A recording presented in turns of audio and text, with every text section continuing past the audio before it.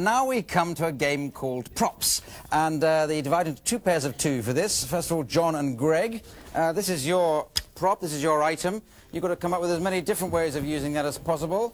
Uh, meantime, uh, Mike and Mark, you've got uh, this item, or rather, uh, these items. You come up with different ways of, of doing that. Okay?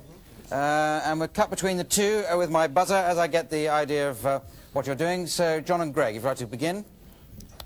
Piet Mondrian decided one day to do something different.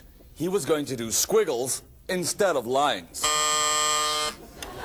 Here, you said get twin cats. We clean up after twin cats. This is my circulatory system. I just got so tired of having it inside me. Sure. Watson! yes! Yes! Daddy, when you give me a hula hoop, do you really have to put me in the microwave? Coming to theaters this fall, Edward Hair Curler Hands. Oh.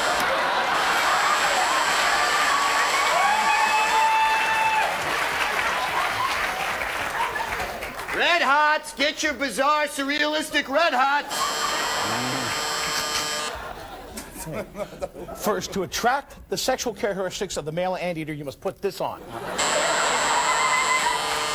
Last one. This snake likes itself so much.